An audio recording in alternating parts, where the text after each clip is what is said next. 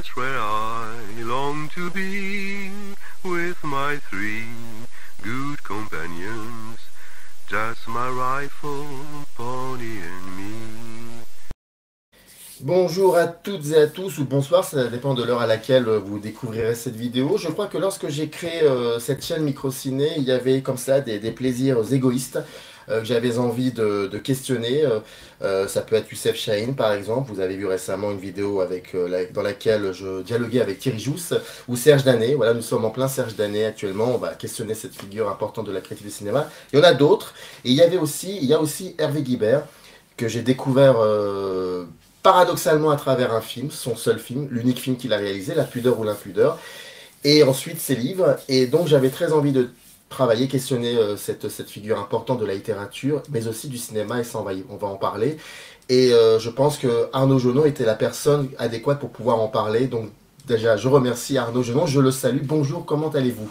Ça va, merci, merci à vous de votre invitation. Mais je vous en prie, merci de l'avoir accepté. Alors, juste rapidement, euh, vous êtes euh, euh, docteur en, lettres modernes et, en plus de cela, vous, avez beaucoup travaillé sur l'écriture de soi, sur l'autofiction et surtout, vous avez, vous, il y a un site autour d'Hervé Guibert que, que, que vous animez entre parenthèses et, euh, et toute cette partie subjective, le jeu qui tutoie le spectateur, ça c'est quelque chose qui est, qui est lié, euh, qui est très important dans vos travaux et qui pourrait être aussi un peu la définition de la critique de cinéma, mais ça aussi on va y revenir. Je crois qu'il y a pas mal de choses, il y a beaucoup de choses sur lesquelles on va peut-être discuter. En tout cas, moi je suis très content aujourd'hui de discuter avec vous sur, euh, sur Hervé Guibert. Alors avant cela, euh, juste euh, pour commencer à contextualiser la chose, La pudeur ou la pudeur donc l'impudeur pardon ou l'impudeur est un film. On va pas dire tout de suite quel genre de film. Vous allez, comprendre pourquoi après. Est un film qu'il a qu'il a qu'il a réalisé. Alors j'avais noté cela quelque... oui entre juin 90 et mars 91. Le film avait été plus ou moins commandé par TF1 si je me trompe pas et Pascal Brugnaud. C'est ça. Voilà, chose qui aujourd'hui est inconcevable. Mais alors réellement, véritablement et fondamentalement inconcevable. Et, Hervé Guibert, pardon, est mort euh, le 27 décembre 92, donc c'est-à-dire qu'il n'a pas vu le film monté, post-produit. Il l'a jamais découvert. Ah, Il est mort en 91, en décembre 91, pardon. 91, ouais. Et effectivement, il n'a pas euh, découvert le film, il n'a pas vu le film euh, qui, qui avait été monté jusqu'à la fin. Il a vu simplement des, des, pa- des- des- des extraits hein, qui étaient montés par euh, Maureen Mazurek, qui était une, euh, la monteuse qui, travaillait pour le film et en qui il, euh, avait une entière confiance. parce que lui-même ne se sentait pas capable de faire ce travail pour des, raisons de santé. Il était épuisé, donc c'était vraiment la fin de sa vie. Et puis il n'avait pas aussi la force de, de, revoir ces images qui le, renvoyaient justement à, à l'état dans lequel il était. Et donc il n'a pas vu euh, le film monter jusqu'à la fin. Il en a vu des extraits, mais il n'a pas vu l'œuvre accomplie en quelque sorte. Le film, ah, Hervé Guibert est mort du sida. Et le film parle de cela, surtout de cela et que de cela. C'est le quotidien euh, d'une personne atteinte de cette, maladie. Il en parle, il le dit, il le cite. Il faut savoir pour celles et ceux qui n'ont pas forcément vécu ce moment-là, cette période-là, et que ce mot-là, on ne le disait pas forcément comme cela. C'était un mot tabou. Et, surtout, beaucoup ne le disaient pas. Euh, Serge Danet, mort du sida, avait dit je, le dis, je dis que je suis malade du sida, parce qu'il faut le savoir. Et donc, c'était. C'est-à-dire que moi qui avais à peu près, oui, je, devais avoir 15 ans, 14-15 ans, et, je me rappelle très bien que, enfin, je suis très surpris quand je revois encore ce film, où il y a le mot sida qui est utilisé, et ça me rappelle, ça me renvoie à une période où je savais pertinemment que c'était pas un mot qu'on utilisait comme ça souvent, et c'était quelque chose d'assez assez particulier. Et euh, alors juste, voilà, le film existe en DVD, donc ça c'est très important. Vous aurez dans le descriptif tout, tout ce qu'il faut, les informations pour pouvoir euh, vous, vous le procurer. Et voilà, donc c'est son quotidien, c'est une espèce de journal dans lequel il, il parle de... Pas qu'il parle, il filme, il filme, ça, il filme son quotidien, des petits moments comme cela. Il y a une voix off sur un texte très littéraire aussi. Mais avant de commencer à parler du film, mais aussi de son rapport à l'image, parce que ça serait intéressant peut-être de, comprendre un peu que Hervé Guibert a toujours été passionné par la notion même de l'image, par le sens même de l'image. Je voudrais juste reprendre euh, les, derniers mots euh, que l'on entend à la fin du film et qui peuvent peut-être euh, expliquer, voire même euh, définir ce que c'est réellement ce film. Alors, je les avais notés, voilà. Il dit en gros, je vais le relire, il dit, il faut... Alors, pour contextualiser un peu la situation, c'est le, dernier plan Hervé Guibert est en train de travailler sur sa machine euh, à écrire électronique, et puis il y a une voix off, et on entend dire il faut déjà avoir vécu les choses une première fois avant de pouvoir les filmer en vidéo, sinon on ne les comprend pas. La vidéo absorbe tout de suite et bêtement cette vie pas vécue, mais elle peut aussi faire le lien entre photo, écriture et cinéma. Et avec la vidéo, on s'approche d'un autre instant, un, instant nouveau, avec comme en superposition, dans un fondu enchaîné purement mental, le souvenir du premier instant. Alors l'instant présent a aussi euh, la richesse, euh, la richesse du passé. Est-ce que quand on entend cela, on devine un peu que ce film n'est pas forcément n'est pas n'est pas vraiment un documentaire, on peut on peut appeler ça réellement est-ce que c'est une fiction ou est-ce que c'est autre chose selon vous? Ah, Pour moi, c'est vraiment un film de, cinéma, même si effectivement l'outil qui a été le sien, ça a été le, le caméscope qui a priori euh, est un outil qu'utilisent les, amateurs pour faire des films de famille, pour faire des films euh, euh, voilà, pour les anniversaires. En tout cas, c'est pas un outil qui a, à quelques exceptions près, je suppose, dans l'histoire du cinéma, qui n'a pas été utilisé pour, pour réaliser des films cinématographiques tels qu'on l'entend. Donc déjà, c'est vrai que l'outil en lui-même, par la qualité de l'image, par la maîtrise qu'en avait Guibert, à savoir une maîtrise très euh, approximative. Hein, euh, il a, il a enregistré le film, c'est-à-dire que lorsqu'il a donné ses cassettes, il ne savait même pas si euh, l'image avait fonctionné, si le son était branché, et comme lui-même ne revenait pas ou à de très rares reprises sur ce qu'il avait filmé, il n'avait aucune idée de la qualité technique de ce qu'il avait réalisé. donc après ce qu'il dit, effectivement, il faut avoir vécu les choses une première fois avant de les, avant de les filmer, ça veut dire que c'est en même temps quelque chose, c'est un film qui est euh, qui, qui, relève, il y a une mise en scène dans ce film. Euh, il, y a, bien sûr une volonté de sa part de, maîtriser hein, tout ce qu'il faisait euh, autant dans son écriture que, dans ce film, justement l'image qu'il euh, veut renvoyer de lui. Donc on peut imaginer que le fait même de se filmer soi-même nécessite d'abord bah, de placer le caméscope à un certain endroit, de, parfois même de, repérer des lieux, de faire des plans où il est absent, de, des, plans, on sait parce qu'il y a eu des, des, études qui ont été faites là-dessus, hein, qu'il y avait 26 heures de, il y a plus de 26 heures de, film. Hein, non, peut-être plus même, il y, a, des chiffres, je ne sais plus exactement, mais il a filmé à peu près 45 cassettes hein, euh, duquel sort le film qui dure une heure. Donc on peut imaginer qu'il y a ouais, 26-27 heures de, film. Donc du coup, il a fait énormément de plans. Il y a des, euh, des plans qui ont été filmés euh, plusieurs fois. Donc effectivement, il y a une mise en scène. Et d'ailleurs, la première volonté de, de c'était de faire un film de fiction. Euh, il avait l'intention de, non pas de faire un, film qui peut paraître pour ceux qui ne connaîtraient pas Guibert comme un documentaire, un documentaire sur le sida. Mais il y a plusieurs scènes comme celle du suicide qui a été, d'ailleurs il en parle dans le mausolée des amants, qui a fait l'objet de, de, trucage en quelque sorte. Donc du coup, euh, euh, il y a dans l'utilisation de Guibert du caméscope une volonté, euh, oui, de, mettre en scène, de se mettre en scène de la même manière qu'il s'est mis en scène dans tous ses livres et qu'il a fait de lui un véritable personnage. Donc, euh, ça serait réduire ce, film, justement, de dire qu'il n'est qu'un documentaire sur le sida. Il est, euh, pour moi, un film qui vient euh, euh faire aboutir une œuvre dans laquelle il s'était donné comme, comme objectif dès le début, dès ses premiers textes, euh, l'idée donc de, se dévoiler, de se mettre à nu. Et, le film devient finalement une possibilité pour lui de faire aboutir un projet littéraire qui était la mise à nu de soi, que le sida, en plus, a permis de radicaliser dans la mesure où euh, euh, parler du sida, comme vous le disiez tout à l'heure, surtout à cette époque-là, c'était euh, euh parler de quelque chose que, dont personne ne parlait. Peut-être beaucoup n'avaient pas envie d'en entendre parler, beaucoup avaient peur de, de, ce que ça représentait que de, se dire, de se déclarer malade du sida. Et donc le sida lui a permis de radicaliser justement cette mise en jeu de soi déjà dans ses livres. Et le film est venu encore radicaliser cette exposition de lui par justement un traitement cinématographique du corps, de la maladie et de sa propre mort qu'il est en train de filmer. Mais est-ce qu'on peut dire que ce film-là était euh, une espèce de somme comme ça, un film somme de tout ce qu'il avait pu utiliser comme ressort artistique, c'est-à-dire la littérature, la photographie, euh, le scénario aussi pour le cinéma, est-ce que c'était une espèce de, pas de chant du cygne, mais quelque chose qui, qui, euh, conjuguerait un peu tout ce qu'il a voulu faire autour de cette question euh, de l'écriture de soi, cette question de la subjectivité? Est-ce que c'était une trace, un témoignage très fort qui pouvait symboliser, exact, pas, pas, symboliser, mais qui pouvait conjuguer tout ce qu'il avait pu entreprendre depuis, depuis les années 70 Alors je pense pas que ce soit une somme, parce que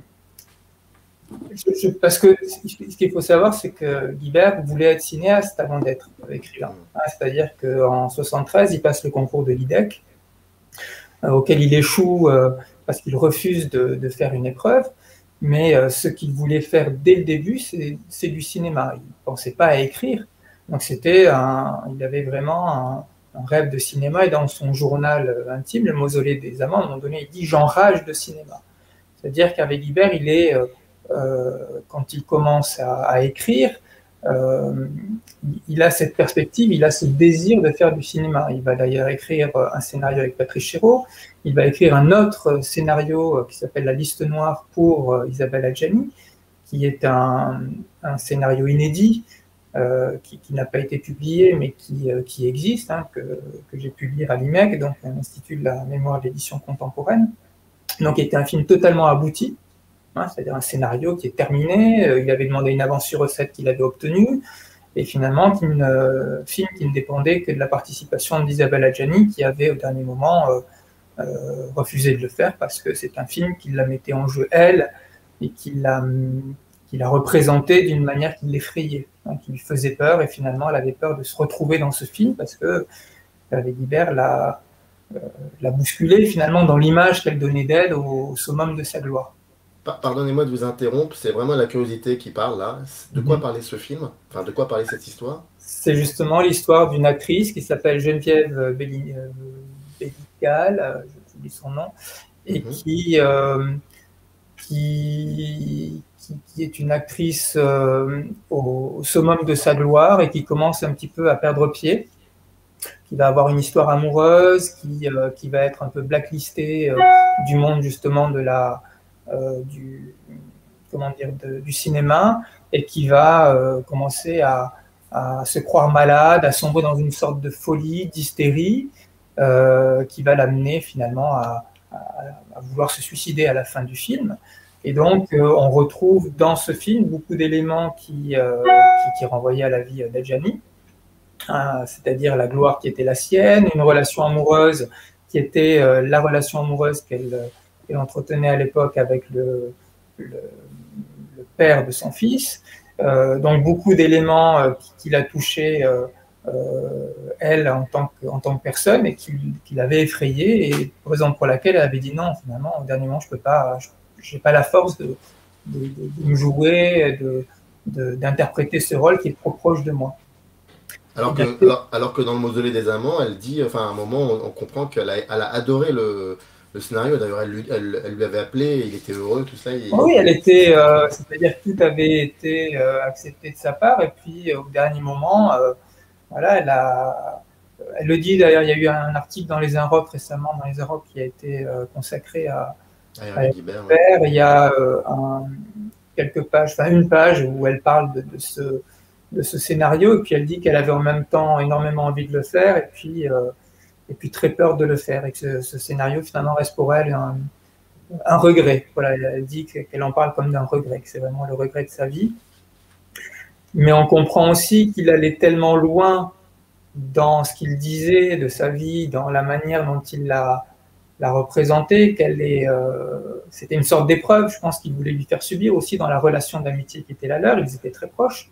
Et je pense que c'était une manière pour lui d'éprouver euh, l'amitié que pouvait avoir Isabelle Adjani pour lui, voir si elle pouvait aller jusque-là, c'est-à-dire à jouer euh, ce personnage qui lui ressemblait beaucoup, qui sombrait dans la folie, qui, qui devenait complètement hystérique. Est-ce qu'elle avait, euh, est-ce qu'elle était prête à aller jusque-là dans leur relation d'amitié Et au dernier moment, finalement, elle a, elle a, refusé. Donc, euh, avec Guibert, il en a beaucoup voulu. Et avec ce film, c'est un petit peu effondré son rêve de cinéma.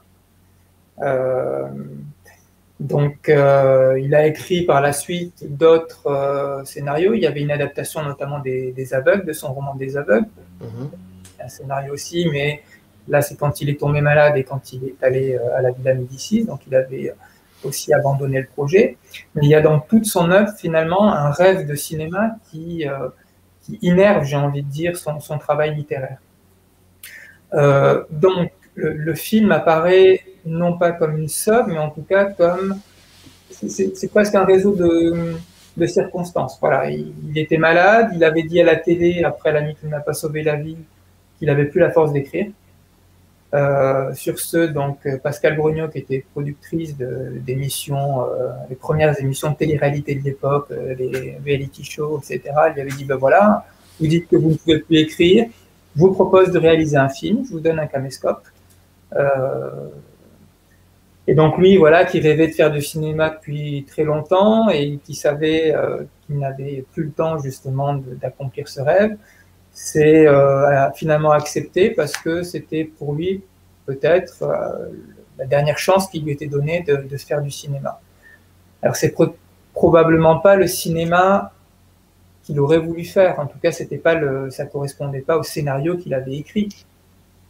Euh, mais en tout cas, c'était euh, la dernière chance voilà, que, qu'il avait de, de faire euh, un film. Et c'est pour ça qu'il, a accepté de, de, faire ce film.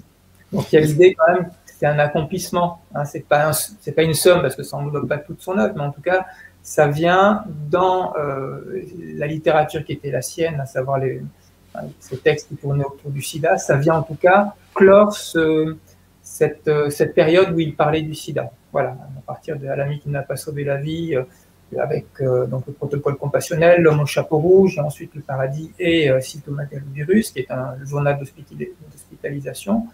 Le film, il arrive là et puis il s'inscrit justement dans cette, dans cette fin d'œuvre qui tourne autour de la maladie. Mais c'est quand même assez incroyable, je trouve que pour un écrivain qui a qui a énormément écrit, c'était vraiment un staccanoviste, qui a beaucoup travaillé aussi sur la notion d'image, il en parle aussi dans ses livres, et de terminer, de terminer malheureusement cette vie sur un film, je trouve ça assez, assez incroyable, d'autant que pour deux choses, 80, euh, en début 90, euh, rares sont les films qui, parlent, qui, qui questionnent euh, cette maladie en connexion avec le quotidien, D'autant plus rares sont les documentaires ou les films de ce genre qui, questionnent cette périodicité-là. Et puis deuxièmement, aujourd'hui, en 2021, quand on revoit le film, on est extrêmement surpris et happé par la...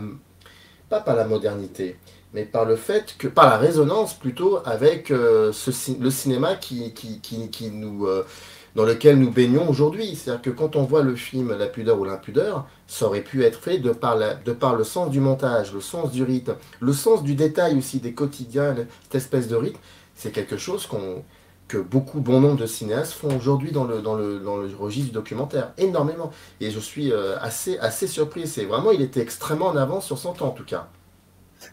Oui, alors, probablement que c'est aussi beaucoup dû au, travail de la monteuse. Hein, parce que, mmh lui-même lui a, rendu euh, euh, plusieurs fois hommage en disant qu'il avait. Euh, il a d'abord regretté, je ne sais plus où je relisais ça récemment, il a, quand il a donné ses, cassettes, il, a rendu le caméscope à Pascal Brognon, il a rendu les cassettes, et donc quand il a signé son contrat, comme quoi il, autorisait finalement la, la, réalisation du film, il est parti, il a fait un voyage, je ne sais plus si c'était au Japon ou il me semble que c'était au Japon, et il raconte finalement, une fois qu'il est dans l'avion, avoir regretté de donner ses, d'avoir euh, regretté d'avoir donné ses, ses, cassettes parce que euh, voilà, il savait pas ce qu'elles allaient devenir et peut-être qu'il n'aurait pas, euh, voilà, il savait que, que, ces jours ou ces mois étaient comptés et du coup, voilà, c'était, il avait signé un semblant sans savoir ce qui, ce qui allait être fait de ces, de ces cassettes. Et lorsqu'il a vu avec Maureen Mazurek, donc les premiers les premiers plans, enfin en tout cas le film commençait, les, quels étaient les choix qui étaient faits par, euh, par la monteuse, il a tout de suite dit voilà, c'est exactement euh, quel était euh, euh, ce que je voulais faire avec ce film. Elle a exactement compris la philosophie de, de ce pourquoi j'ai fait le film. du coup, il lui a vraiment après laissé monter et réaliser le film seul, sans jusqu'à voir d'ailleurs, comme on disait tout à l'heure, la, version finale. donc je pense que tout ce que vous dites là, effectivement, sur le rythme, sur le, sur le, les, les, passages aussi entre les différents plans, comment est-ce que les, notamment ce passage avec les, les, les, images de son enfance qui sont oui. apposées avec les images donc, de, de, lui malade, etc. Donc tout ça, je pense que c'est vraiment aussi le, travail de, de, la monteuse qui, euh, qui, avait, qui participe pleinement justement à, à, la réussite du film. Il y avait des directives de la part de, de Guibert euh, sur ce qu'il voulait au, au final? Je pense pas, non. Je pense pas. Je pense qu'ils en avaient parlé euh, clairement avec euh, avec la monteuse et avec Pascal Brognaud. Ça, c'était euh, probablement très très clair. Maintenant, qu'il y en ait eu de manière écrite ou ça, je pourrais pas dire. Mais que je sais, c'est que ils avaient quand même parlé avec Maureen Mazurek et qu'apparemment, elle semblait avoir compris dès le début et très rapidement finalement ce que ce que Guibert avait voulu faire avec ce film-là. Je pense aussi que quand on connaît euh, justement euh, les, livres qu'il avait écrits euh, à l'époque, c'est-à-dire donc il y avait le Alami qui n'a pas sauvé la vie et le protocole compassionnel qui, qui devait être paru quand elle était en train de travailler sur le montage. C'est vrai que le film s'inscrit aussi dans la, dans la lignée de, des livres. Donc il y a probablement aussi les, les livres qui influencent la manière dont le film va, va être monté pour qu'il y ait une sorte de cohérence euh, entre, les, entre les, textes et le film. D'autant plus que beaucoup, beaucoup de passages de, qui sont dits donc en voix off, que Guibert lit euh, sur les, images de la pudeur ou l'impudeur sont dans le protocole compassionnel. Hein, C'est-à-dire que ce sont des passages qui sont dans le protocole compassionnel et qui sont lus sur le film parce qu'il écrivait le protocole compassionnel en même temps qu'il euh, euh, tournait le film. Je crois que la dernière phrase du, du protocole compassionnel, c'est Je suis en train de réaliser mon premier film, j'ai fait mon premier film. Donc finalement, la fin du livre, c'est le début du film, et il y a une continuité comme ça hein, qui, qui, est bien respectée justement dans, dans, le film, et on voit bien que ça forme vraiment un ensemble, et que le passage de l'écrit au film euh, est, très lié finalement. Il n'y a pas de rupture comme ça entre les, entre les deux médias que seraient l'écriture et, le film. Est-ce que le film s'inscrit aussi dans la lignée des photographies qu'il a pu faire avant? Alors, ce qu'il disait là, c'est assez intéressant aussi parce que ce qu'il. Euh, donc, quand on connaît un petit peu ses photographies, donc, premièrement, il y a, c'est du noir et blanc. Hein. il y a toutes les photographies de Guibert sont en noir et blanc.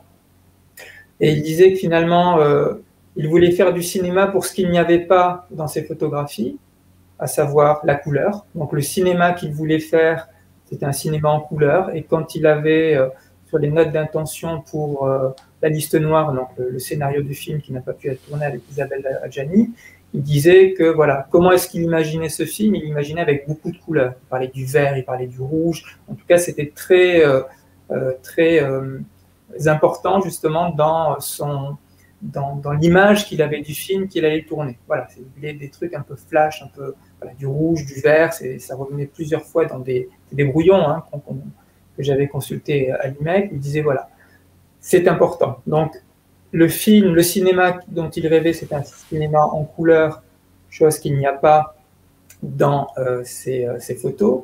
Et il disait, ce qu'il n'y a pas dans mes livres, ce sont les femmes. Et j'aurais voulu faire un cinéma dans lequel il y avait des femmes. Et Isabelle Adjani était euh, son, elle incarnait son rêve de cinéma, c'est-à-dire qu'il avait fait un portrait dans, dans, Le Monde sur Isabelle Adjani quand il était critique au Monde, et il disait voilà, elle incarne pour lui mon rêve de cinéma. Donc euh, le film qu'il avait écrit, c'était un film pour elle, sur elle, parce qu'elle était pour lui euh, son voilà, son, elle incarnait son fantasme de cinéma. Donc c'est vrai que dans, son, dans, le, film qu'il fait, euh, donc il y a de la couleur, oui, parce que c'est filmé au caméscope, il n'y a pas de femmes, si ce n'est ses deux grands-tantes, mais euh, elles n'ont pas grand-chose de commun avec qui s'appelle Adjani. Euh, donc euh, c'est vrai que le film qu'il fait, c'est peut-être pas le film dont il rêvait. C'est pas, ça, il n'est pas représentatif de l'idéal cinématographique d'Hervé C'est un film de circonstance qui, pour moi, vient vraiment en même temps lui permettre de faire ce film et qui vient accomplir aussi ce qu'il était en train de dire et ce qu'il était en train de mettre en œuvre dans, euh, son, dans, son écriture. Il y a aussi, euh, par rapport au titre euh, La pudeur ou l'impudeur, il y a comme ça dans ce film pas mal de moments, pas mal d'instants où euh, pour le coup, effectivement, si on connaît, euh, si on connaît ces livres, on peut pas être surpris, on peut pas être choqué, mais il, se filme entièrement, il se dévoile à nu sans, sans, sans, mauvais jeu de mots. Et il y a une phrase que j'ai relevée du, film qui est, qui est, assez belle. Euh, il dit en gros, cette confrontation tous les matins avec ma nudité dans la glace était une expérience fondamentale. on comprend en fait très vite que, ce, que il faut aller jusqu'au bout euh, du, mot journal intime au sens étymologique du terme. Il faut l'assumer pleinement. Et, euh, je trouve que c'est ça qui fait, euh, je trouve que c'est ça qui, donne au film un, un, côté extrêmement intemporel. Qui, en fait, c'est un film qui ne peut pas vieillir. C'est oui, c'est exactement ça. C'est-à-dire que hum, quand il a quand il est allé, euh, quand il a commencé à écrire, euh, bon, il a toujours écrit sur lui. Dès ses premiers textes, avec Guibert, se prend pour objet d'étude en quelque sorte. Dès La mort propagande, le premier texte qu'il publie en 1977. Donc il va être toujours à quelques exceptions près. Il y a deux romans euh, peut-être dans lesquels il va faire des, on va dire des, il va aller emprunter les voies de la fiction parce que des éditeurs le poussent à le faire. donc il va s'y essayer, mais on voit bien que que c'est peut-être pas ce qu'il a envie de faire. Donc il s'est toujours pris pour sujet d'étude, il, euh, est devenu son propre personnage. Euh, et, donc à un moment donné, quand il commence euh, à l'ami qui ne m'a pas sauvé la vie, où là finalement il va y avoir un enjeu qui va être encore plus grand dans l'écriture de soi, ça veut dire ça, ça va être la présence du corps.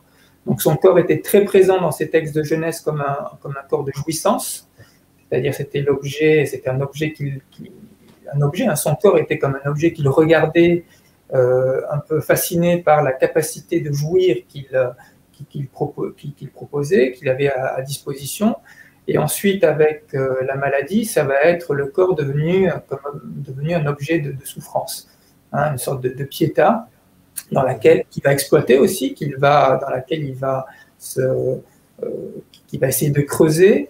Et donc, le corps va devenir l'objet de toutes ses attentions, puisque euh, c'est en quelque sorte l'indice de sa vie qui, disparaît. Donc il passe de ce corps de jouissance à ce corps de souffrance. Euh, il vient d'ailleurs à se comparer à ses deux grandes-tantes, Suzanne et Louise, qui sont dans le film. Alors si elles sont dans le film, c'est pas étonnant. C'est parce que justement, euh, elles constituent pour lui une sorte de double. Hein, d'ailleurs, je ne sais plus si c'est dans le protocole compassionnel ou dans l'ami qui, ne m'a pas sauvé la vie. Il dit voilà, je suis devenu ma grand-tante Suzanne qui a 95 ans je suis, euh, je deviens impotent comme elle. Donc finalement, s'il les filme à plusieurs reprises, c'est parce qu'il les considère un peu comme, comme un double, c'est-à-dire qu'elles sont l'image de ce qu'il est en train de devenir, à la différence près qu'il a 60 ans de moins que, que, Suzanne et 50 ans de moins que, Louise. Euh, et en même temps, il y a ces images de lui lorsqu'il était enfant, euh, où on le voit, un enfant de 7-8 ans tout maigre, qui renvoie aux dernières phrases de Alami qui m'a pas sauvé la vie, où il disait J'ai enfin retrouvé mes bras, euh, mes jambes et mes bras d'enfant. Donc finalement, ce sont des images comme ça. Il est pris entre ses épaules de son corps d'enfant amaigri et ce corps des grandes-tantes, euh, voilà, qui, qui, en quelque sorte la perspective qui est la sienne, à savoir cette, euh, cette mort qui arrive. Et d'ailleurs, Suzanne meurt pendant que le film est tourné. Donc le corps, bien sûr, c'est une mise en jeu, c'est il, euh, euh, il, l'expose. Alors ce qu'il disait, c'était pas de manière exhibitionniste, mais c'est plutôt un, caractère pictural. Il disait qu'il y avait un côté pictural dans, son corps, euh, dans la manière dont il, dont il va s'exposer. Et c'est vrai qu'il y est exposé de plusieurs manières. donc on le voit en train d'être massé par son kiné, on le voit en train de danser, de faire des gestes pour essayer de maintenir ses, euh, ses muscles, hein, parce qu'il dit perdre chaque jour euh, des mouvements, ou la capacité de faire certains mouvements. Donc on le voit en train de faire des muscles comme ça, de faire de la gymnastique, on le voit sur son vélo, on le voit danser à un moment donné euh, mmh. sur de la musique techno.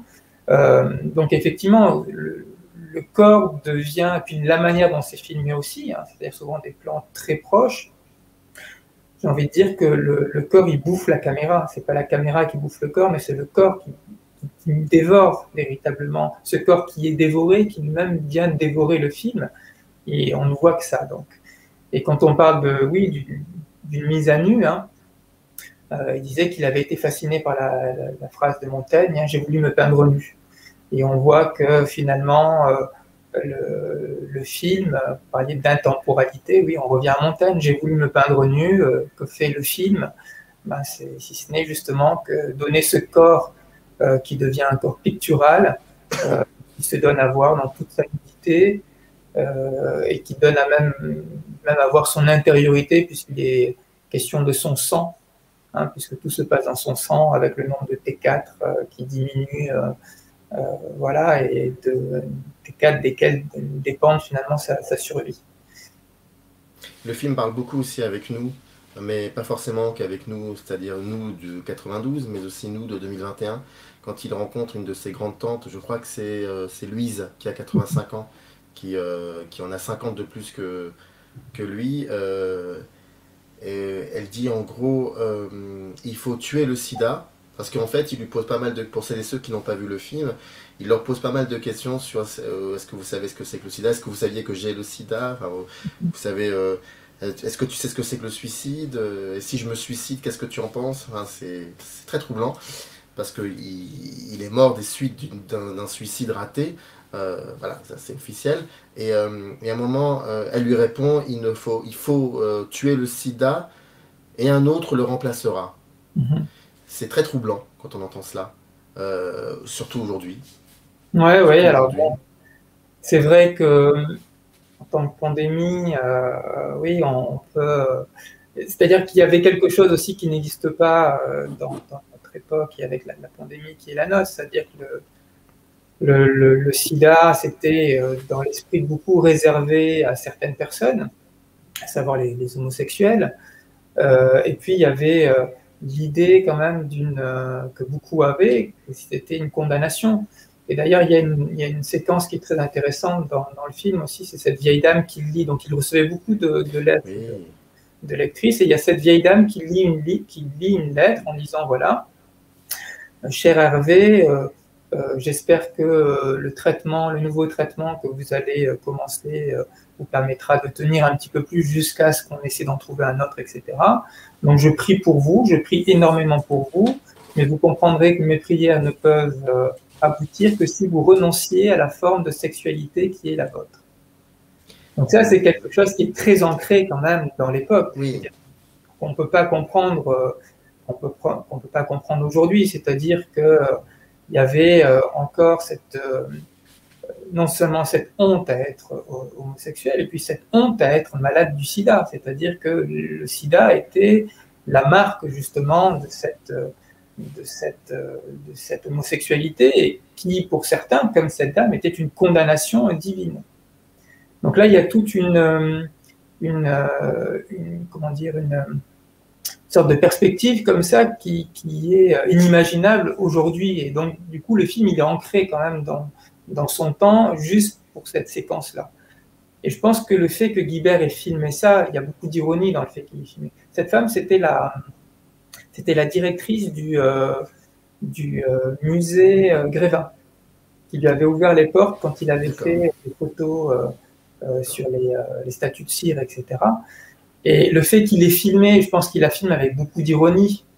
C'est-à-dire, c'est une manière pour dire, écoutez, regardez ce que, que, cette dame est en train de me dire. Quoi. Elle prie pour moi, mais sa prière ne pourra fonctionner que si je renonce à mon comme si on pouvait renoncer à son. Alors, et pardonnez-moi, il dit les déviances sexuelles liées à Sodome et Gomorre. Ouais, ouais. Ça, c'est très très fort. Enfin, donc, donc quand, il, quand il la filme, je pense qu'il la filme aussi. Euh, elle, elle est très flattée.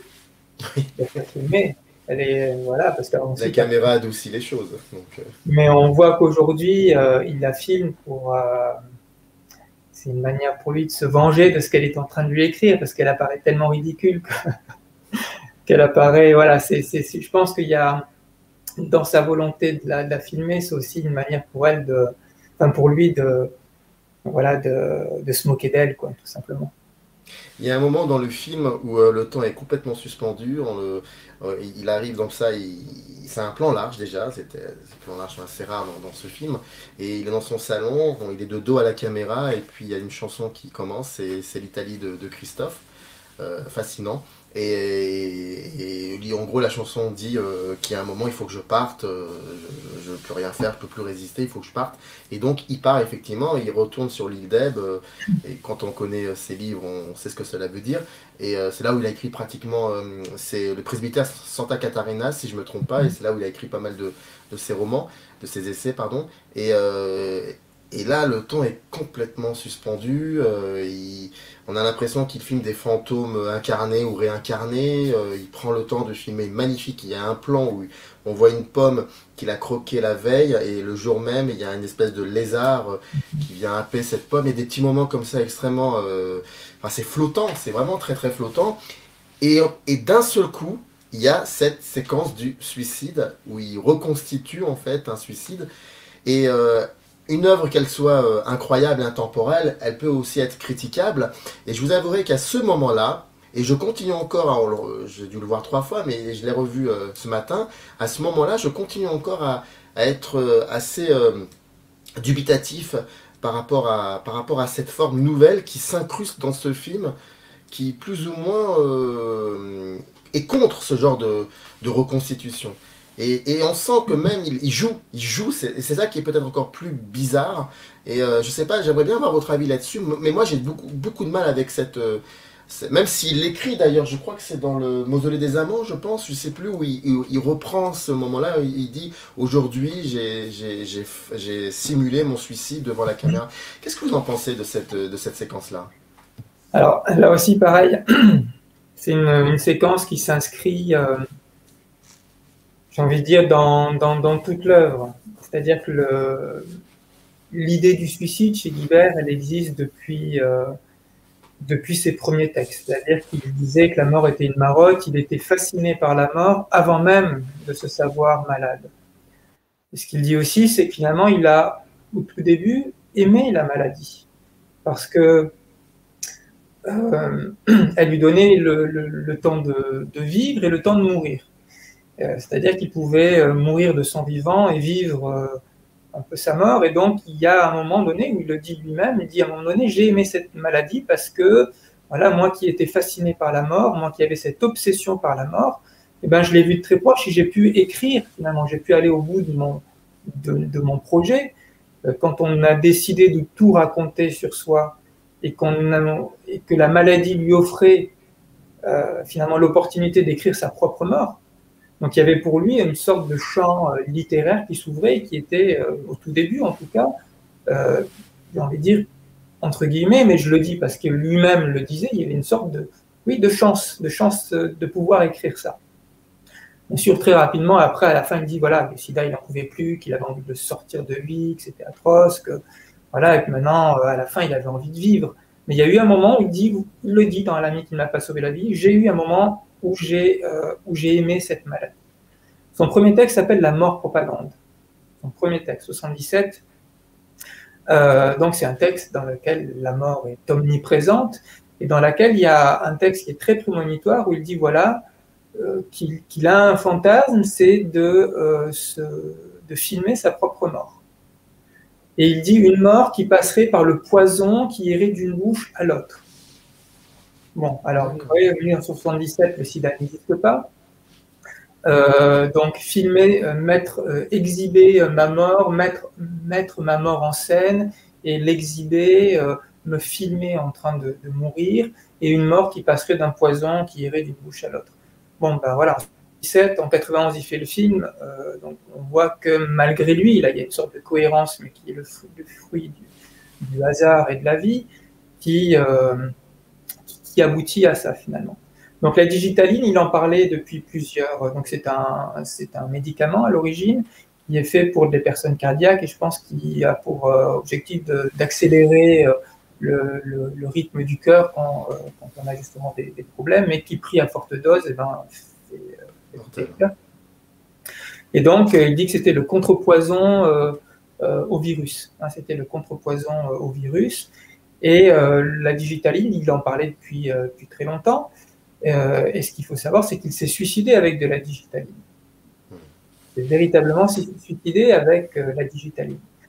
Donc, le... alors bien sûr qu'il y a une mise en scène. Il le dit dans le mausolée des amants, il y a deux verres, il prend de la digitaline, qu'il a réussi d'ailleurs à se procurer en, Italie. Donc il met les 70 gouttes, hein, je crois que c'est 70 gouttes qui est la dose mortelle, il met dans deux verres, il fait tourner les deux verres en face de lui, euh, il boit un des deux verres, et ensuite donc on voit un plan sur l'extérieur du, du, presbytère. Et puis on le voit se réveiller sur une chaise et puis il dit avoir filmé euh, cette tentative de suicide a changé ma relation, la relation que je pouvais entretenir avec le, avec le suicide. Donc on pourrait dire oui, c'est une mise en scène parce qu'effectivement il a mis un, autocollant sur un des deux verres, mais c'est le contraire d'une mise en scène. C'est plus ici, c'est non pas le, le film, il n'y a pas une répétition qui a été faite avant le film, c'est plutôt le film qui constitue une répétition de la vie. Et donc, euh, euh, il disait qu'il faut avoir vécu les choses une première fois, il disait au début, pour pouvoir les filmer. Là, c'est le contraire. Il faut avoir vécu peut-être le suicide par la caméra pour pouvoir, le, pour pouvoir se suicider de cette manière-là quelques mois plus tard. Donc cette séquence-là, je suis d'accord avec vous, elle peut paraître un petit peu euh, étrange, mais elle est totalement cohérente aussi Sauf que c'est une cohérence qui est inversée. Il n'a pas vécu les choses une première fois pour les filmer, c'est que là, il filme son suicide pour pouvoir se suicider quelques mois plus tard, dans des circonstances similaires, avec ce même produit. Euh, et donc, il ne meurt pas tout de suite. On dit qu'il est mort de ce suicide parce qu'il va d'abord être hospitalisé, parce qu'il ne meurt pas. Euh, on vient chercher alors euh, qu'il a pris la digitaline et qu'il est dans le coma, je pense, et puis il meurt deux, trois jours, quelques jours plus tard donc, à l'hôpital mais euh, c'est pas si euh, euh, c'est pas si en dehors du film que ça. C'est juste que dans cette séquence-là, on a une inversion de qu'est-ce qui doit être vécu d'abord et qu'est-ce qui doit être filmé d'abord. Là, voilà, le fait de filmer lui permet, peut-être lui donne la force de, de, se suicider de cette manière-là quelques, semaines plus tard. C'est très troublant ce que vous dites parce qu'à un moment dans le film, on le voit en train de se faire opérer au niveau de, la gorge, si je ne me trompe pas. Euh, une séquence assez particulière. D'ailleurs, ce qui est assez surprenant, c'est de savoir que tous et toutes ont accepté de se faire filmer. Il y, a, un des médecins qui est flouté d'ailleurs, mais ils ont accepté cette idée-là euh, du journal filmique. Donc ça, c'est très impressionnant et c'est d'autant plus remarquable. Et donc je disais, il y a un plan. Pourquoi c'est troublant? Parce qu'il y a un plan où on le voit, euh, on le voit revoir ces images. Mhm. je, trouve, je trouve ce moment très très important. Je trouve que c'est déjà de se filmer, de, de, de, mettre dans ce dispositif filmique euh, cette partie où on le voit revoir ces images, ça veut dire qu'il pense, il a à ce moment-là, il pense quelque chose. Et j'imagine même qu'il écrit quelque chose ensuite. Donc, faut, je pense qu'à un moment ou un autre, il a dû peut-être revoir cette image de reconstitution du suicide et, et, et puis voilà, alors pour le suicide, je ne sais pas, je ne pense pas qu'il ait tout revu. Alors pour le film, euh, pour quand il filme son, opération, il a effectivement un ganglion euh, euh, sous la gorge et puis il dit qu'il ne se rend pas compte de ce qui s'est passé pendant cette opération parce qu'on lui donne des... il est anesthésié localement, mais bon, il dit voilà, j'ai la tête qui tourne. L'adrénaline, l'adrénaline, il en parle de ça. Le médecin lui dit bah oui, c'est normal. Et donc, il ne sait pas du tout ce qu'on voit de ça et il ne sait pas du tout ce qui se passe. Et puis, il prend conscience de ce qui, s'est passé en regardant cette image, mais qui aussi, très paradoxalement, est une image presque magnifique parce qu'il y a une sorte de halo de lumière. Donc, il y a des draps bleus qui sont juste derrière son, sa tête. Et donc, avec la lumière donc, du, bloc opératoire, il y a une sorte de halo lumineux au milieu de cette salle d'opération qui fait que euh, on a presque une image sainte, c'est-à-dire euh, voilà une sorte de lumière qui sort de son visage comme ça, dans un bloc opératoire. Mais c'est aussi le, le, moment où il prend conscience par justement l'intermédiaire de ce qu'il est en train de, revoir, de ce qu'il a vécu lui-même. Euh, donc là, ici, l'image euh, est un véritable retour sur ce qu'il a vécu. C'est pour ça, je pense qu'il n'a pas voulu revoir beaucoup d'images parce qu'il n'était pas capable non plus de, se revoir dans, un... Il voulait plus être photographié à la fin de sa vie. donc, je pense pas qu'il avait, en tout cas, que la confrontation avec son image était difficile. Et c'est la raison pour laquelle je pense qu'il n'a pas dû revoir beaucoup d'images, tant que ça, du film. Et celle-ci, il se filme en train de la revoir. Donc c'est vrai qu'on a une sorte de mise en abîme hein, qui, est, troublant. Il, arrête de filmer, il, filme de juin 90 à mars 91. Euh, c'était dans le contrat ou c'est parce qu'il se sentait plus capable de se filmer? Euh, Je pense que le contrat n'a pas été signé avant qu'il avant rende les caméras. C'est-à-dire qu'au début, euh, ce que ce qu'avait raconté Pascal Brognaud, elle disait il était très procédurier, il voulait que tout soit que tout soit noté, tout soit signé, etc. Et puis Pascal Brognaud lui avait dit écoutez prenez la caméra, puis vous voyez ce que, ce que vous en faites. Soit vous l'utilisez, soit vous faites votre film, etc. Et puis euh, après, on verra. Donc il accepte la caméra, mais quand il commence à se filmer, il n'a rien signé apparemment. Rien n'est. Voilà, donc il filme sans savoir ce qui, ce qui va sortir de ce film. Et c'est une fois qu'il remet les, les, les, films et la caméra qu'il va signer et ne sachant pas exactement ce, ce qu'il a lui-même, euh, les images qu'il a lui-même euh, produites. Donc, euh, je ne sais plus quelle était la, question. Non, en fait, là où je veux en venir, c'est que d'habitude, euh, là, je prends un exemple sur des films récents ou des films d'il y a 15 ans peut-être, quand on, quand on se filme soi-même, quand on une espèce de journal intime, on, on essaye d'aller. Parce que pour une raison bien précise, ça peut être médical, ça peut être euh, sociologique, je, n'en sais plusieurs choses. On, va, on essaie toujours d'aller jusqu'au bout. Et, là, c'est très étrange qu'il ait décidé à un moment d'arrêter. Est-ce que c'était parce qu'il était physiquement, euh, il se sentait pas capable d'aller plus loin ou c'est pour ça que je posais la question. Il s'arrête en mars 91, il meurt en décembre de la même année. Euh, pourquoi il arrête de se filmer? Je n'ai pas la, réponse euh, officielle. Je ne sais pas s'il si, en parle d'ailleurs. Bon, je pense que d'ailleurs, premièrement, c'est qu'il devait être très fatigué. Ouais. Je pense qu'aussi, il peut y avoir, il disait ça de la photographie, c'est que finalement, il, arrive à un moment donné où on peut tout filmer. Et ça, serait euh, sans limite.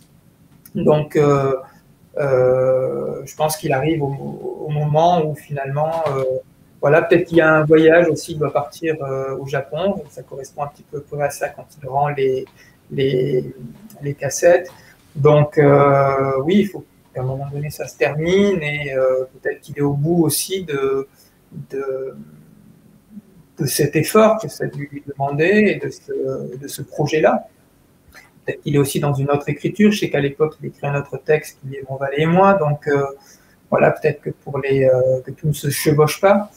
Euh, après, pourquoi est-ce qu'il n'est pas allé jusqu'au bout Peut-être parce qu'il n'aurait pas pu aller plus loin que, là où il était déjà allé au moment donné où il, rend le, matériel. C'est dû à cela. En tout cas, c'est la pudeur ou la pudeur ou l'impudeur, c'est Hervé Guibert et, et, le film a été euh, projeté, enfin projeté pardon, a été diffusé sur TF1 l'année d'après, en 92. En janvier 92. Et comment et quelle a été la réception? Comment ça s'est comment oui comment les gens l'ont reçu, l'ont recueilli ce film? Alors il y avait d'abord eu une première euh, une première projection, une première diffusion qui avait été prévue mais qui avait été reportée parce que des associations justement euh, pensaient que le, film pourrait provoquer euh, des suicides chez les gens, chez les personnes qui étaient atteintes, parce qu'ils trouvaient que c'était un film qui était euh, bien sûr très très noir, même si moi je ne vois pas comme un film si noir que ça quand même, parce que il y a des... Bien sûr, c'est un film qui traite de la mort, donc il est difficile de, traiter de la mort quand on a 35 ans, quand on a le sida de manière, de manière heureuse ou joyeuse. Donc bien sûr que c'est un film qui emprunte tout ça. Donc bien sûr il y a euh, cette, euh, cette, idée du suicide. Hein. Euh, c'est un motif qui revient pendant tout le film. Il demande à ses grands-tantes qu'est-ce que tu dirais si je me suicidais Est-ce que tu, est-ce que tu m'en voudrais Donc c'est vrai qu'il y a cette idée de suicide qui traverse le film. Donc je pense qu'à l'époque, les, associations avaient dit non, il ne faut pas le montrer parce que ça va provoquer justement chez beaucoup de personnes qui sont malades désir ou ça va provoquer des suicides.